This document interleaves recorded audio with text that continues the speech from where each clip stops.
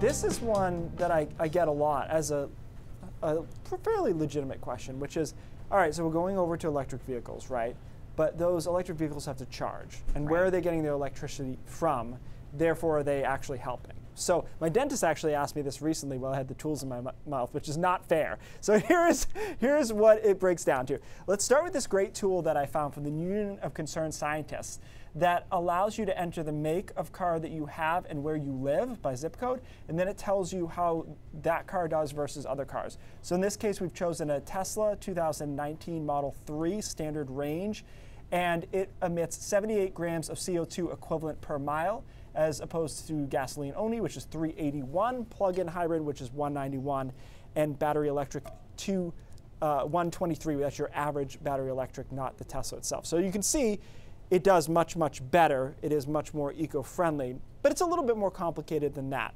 So take a minute to let this graph sink in here. What we're showing you is that it depends on the country how good electric vehicles are when it comes to carbon emissions. And the reason for that is a couple of a couple fold here. One, battery production is better in some countries than others, and electricity production is cleaner in some countries. So look at Norway, for example. An electric vehicle in Norway is much more CO2 carbon efficient than one in the United States or even in Germany or France because Norway uses a ton of renewable green energy.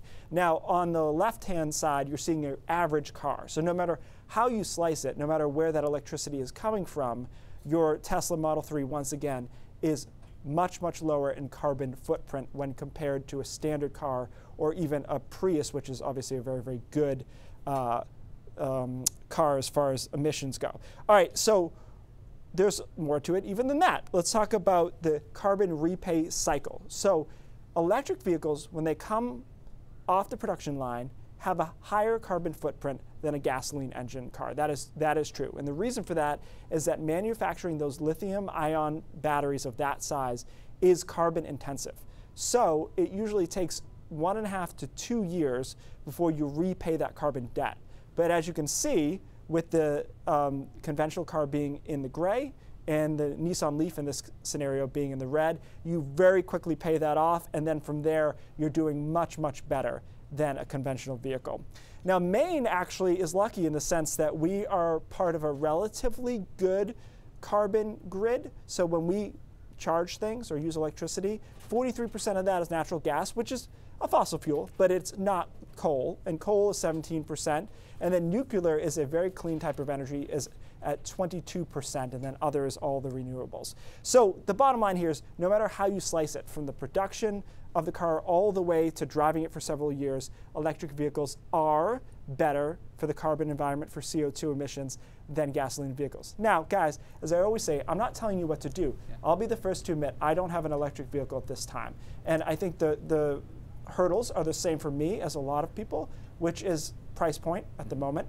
Um, I drive a mid-size type crossover vehicle. If you want to get one of those from Tesla, they're about ninety-five to ninety-nine thousand dollars. Yeah. Now there are credits, but I'll tell you the credits are not enough to offset that price tag. So I think the whole price, you know, for a lot of people and options need to come down. Um, but as we talk about on the show a lot, you can't deny reality because you don't want to do the solution. So the reality is they are better. Now the solution is, can we get these to a place where more consumers can get in on them? And I think the answer is going to be yes, eventually. Well, that's the thing. When you live in Caribou, where are you plugging your electric car into? So networks now, like uh, Volkswagen just announced, they're doing package deals. Okay, we're going to do batteries, a lot of EVs, and they just partnered with BP. So at every BP gas station, there'll be charging stations. So that's that's where we need to go. You can't have people worried about what the range is because they're just not going to buy them, especially in a big state like this. Very cool. Well, this is good to know. We really appreciate the in-depth look, Keith. Thanks. We'll be right back.